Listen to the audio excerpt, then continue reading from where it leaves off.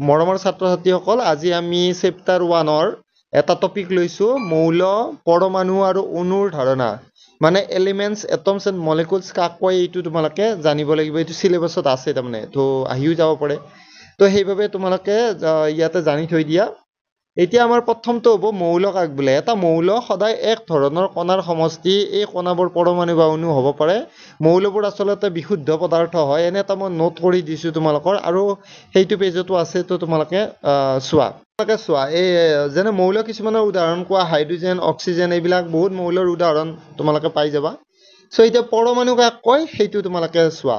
পৰমাণু হ'ল মৌলৰ সূক্ষ্মতম কণিকা য'ত মৌলটোৰ সকলো গুণ ধৰ্ম অশূন্য থাকে আৰু যিয়ে ৰাসায়নিক বিক্ৰিয়াত অংশগ্ৰহণ কৰিব পাৰে।